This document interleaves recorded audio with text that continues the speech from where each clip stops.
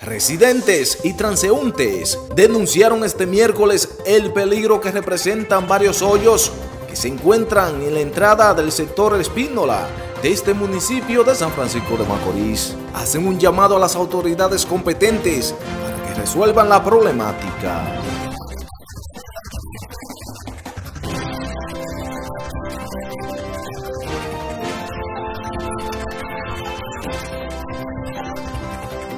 you